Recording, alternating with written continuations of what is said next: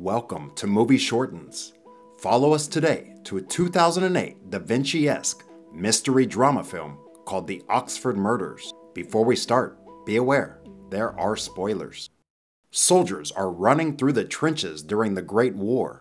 They spot a man writing in a notebook during the shelling. Professor Arthur Seldom explains that he had to write his notes when his mind dictated. It couldn't be put off. The book was published and became the most influential philosophical book of the 20th century. Martin is riding the train and opens Seldom's book. He enters a house and meets the owner, Mrs. Eagleton. They chat about her husband and his relationship with Seldom. She seems impressed by his research, and Martin explains that he is here because of Seldom. Mrs. Eagleton's daughter, Beth, walks in and Martin introduces himself as their new overseas lodger. Later, they dine together and the mother and daughter engage in a very passive aggressive conversation regarding Beth's relationship status. Beth leaves to perform a cello recital, and Mrs. Eagleton offers Martin a game of Scrabble. The next day at the university, Martin is shown to his study. He hopes that Professor Seldom will be the supervisor for his thesis, but he is told that Seldom only works as a researcher. Later, Martin is playing squash when he meets a nurse named Lorna. They play together, and it is evident that he fancies her. She drops him off at home, and they arrange to play again soon. Beth is watching them from the window. She confronts him at the door about his intentions and accuses him of trying to use her mother to gain access to Seldom. She later interrupts him in the shower to tell him that Seldom is giving a lecture soon, and it is his chance to meet him. At the lecture, Martin raises his hand and makes a statement. Seldom puts him down and humiliates him in front of the other attendees. He mocks the idea that if a butterfly flaps its wings, that there is a hurricane on the other side of the world. Back in his study, Martin angrily packs his bags and meets Yuri, an overseas student that shares his study.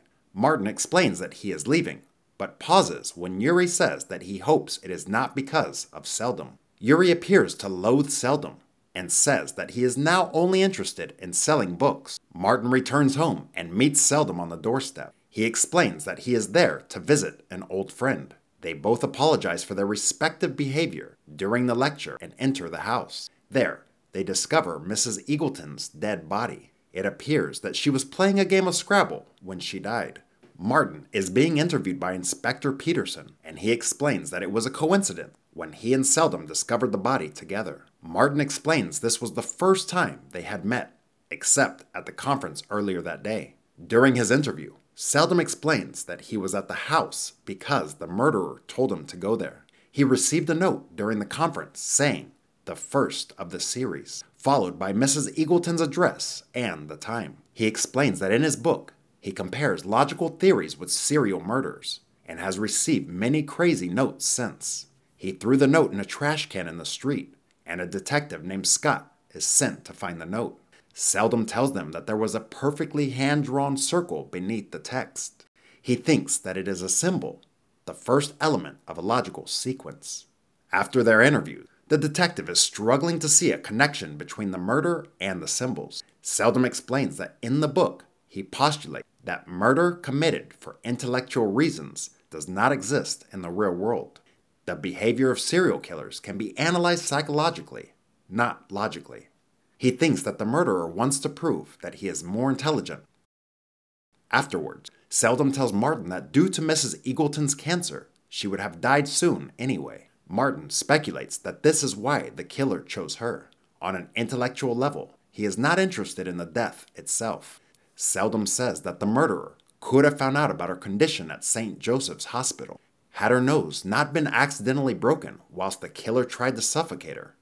Then it would have looked like natural causes and the police wouldn't have got involved. The police arrive to speak with Beth, but Seldom insist on breaking the news to her himself. As Martin watches from the gallery, a member of the orchestra begins to cough. Beth tells Martin that she was interrogated for two hours and feels that she is the chief suspect. She also reveals to him that she is relieved that her mother is dead as she can now regain her life. He comforts her. She tries to turn it into something more, but as he breaks off, she goes away embarrassed. The following day, Yuri congratulates Martin for getting his name in the paper alongside Seldom and teases that Martin murdered Mrs. Eagleton to attract his attention. Martin goes to meet Seldom in the pub.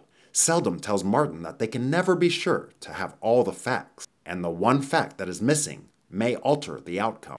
It seems that Scott was unable to find the note. Because of that, Beth will be determined to be guilty. Later, whilst playing squash with Lorna, he tells her that despite the circumstance, he is happy to be spending time with Seldom.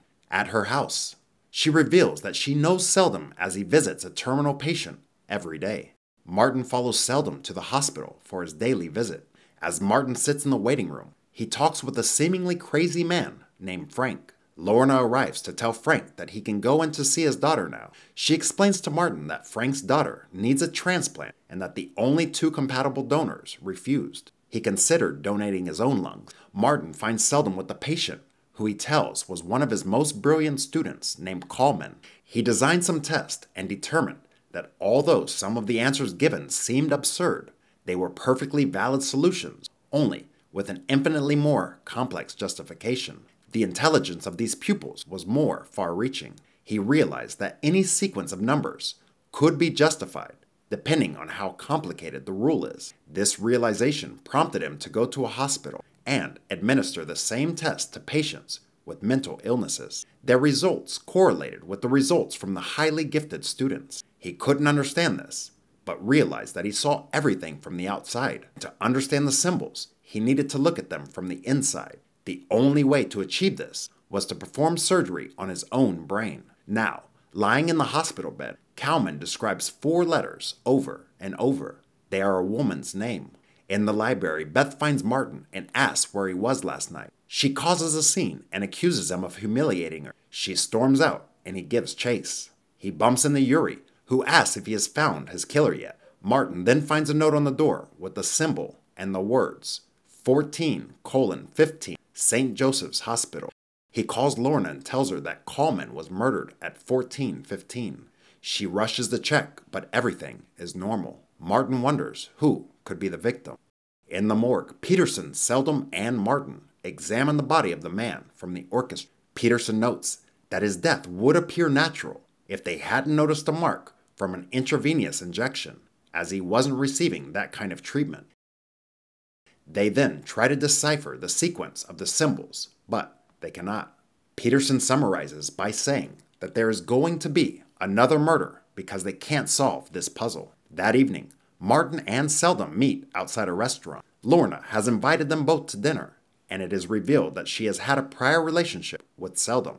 She tells them that there was no toxin in the victim's blood. Seldom reveals to Martin that he knows what the third symbol is and writes it on a folded napkin. He gives him the option of looking at it now or working it out for himself and proving to him that he is not an idiot. Martin goes to watch Beth playing in the orchestra.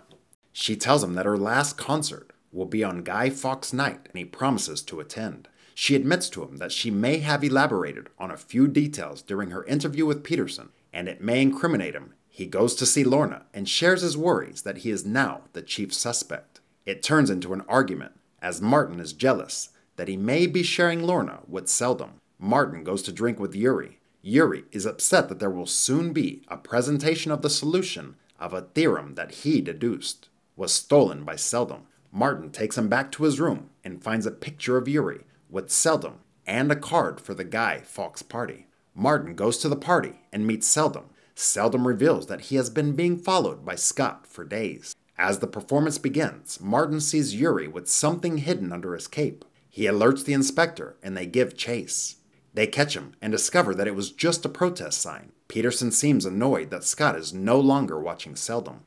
At the end of the performance, another member of the orchestra starts to cough and collapses. In the car, the inspector reveals that the third symbol, a triangle, was discovered on the conductor's stand. The inspector demands that Seldom tell him everything he knows but Seldom indicates that perhaps now is not the best time. Martin takes the hint and gets out.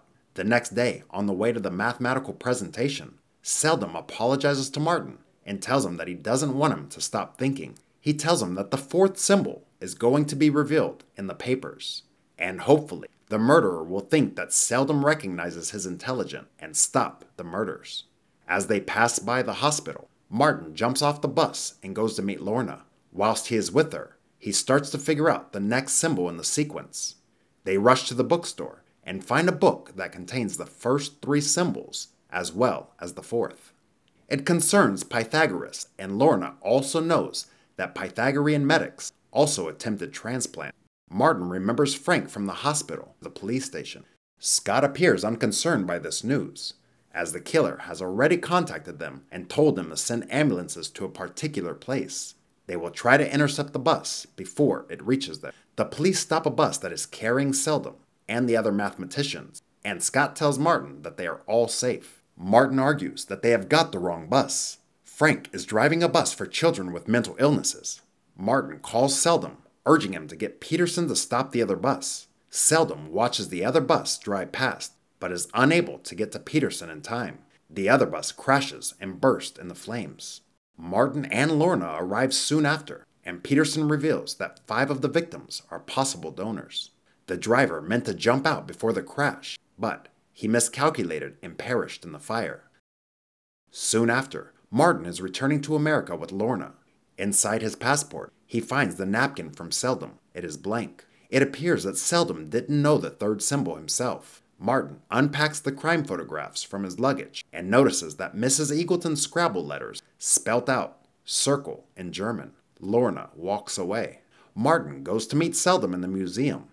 He confronts him with the truth that there was no serial killer. It was Seldom's invention to disguise the only real crime, the death of Mrs. Eagleton. Beth killed her and then asked Seldom for his help.